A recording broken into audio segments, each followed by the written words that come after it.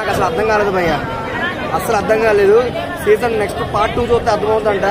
చాలా అంటే చాలా బాగుంది. ఐశ్వర్య ఈ అందానికి నిజంగా మెచ్చుకోవాలమ్మా. నలభై ఎనిమిది సంవత్సరాలు అంట ఏ మాత్రం ఎక్కదండి అదే ఫిట్నెస్. జాకెట్లు అయితే టైట్ అయిపోతుంది అంత టైట్గా ఉన్నావు సో ఆ శారీ కూడా అంతే టైట్గా ఉంది.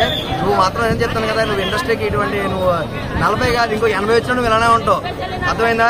ఇకపోతే త్రిష అప్పుడు ఎప్పుడో ఏదో సినిమా లీక్ అయినాయి అంట చెప్పాలి అందరికి. నువ్వు సూపర్. సినిమా తీసి చూపించు. మంచి క్యారెక్టర్. ఇకపోతే విక్రమ్ గారి గురించి చెప్పాలి. ఒక కోబ్రా సినిమాతో కొంచెం అటు ఇటుగా వచ్చింది.